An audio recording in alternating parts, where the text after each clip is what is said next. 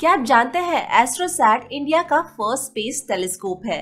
एस्ट्रोसैट का full form है astronomy satellite 28 सितंबर 2015 में इसे इसरो ने लॉन्च किया। एस्ट्रोसैट एक पावरफुल टेलीस्कोप है। ये स्पेस को पाँच अलग अलग वेव्स में देखने में मदद करता है। लाइट की अलग अलग वेव्स जैसे विजिबल नजदीकी अल्ट्रावायलेट दूर की ultraviolet waves soft X ray और हार्ड एक्सरे वेव्स में हम इससे स्पेस देख सकते हैं। अब तक इससे कई तरह की खोज की गई है। इसमें से एक खोज है नए किस्म के ब्लैक होल जिसका नाम है अल्ट्रा ल्यूमिनस ये ब्लैक होल आम ब्लैक होल के कंपेयर में ज़्यादा ब्राइटर है और माना जा रहा है कि दो छोटे ब्लैक होल्स के मर्ज होने से ये बना है।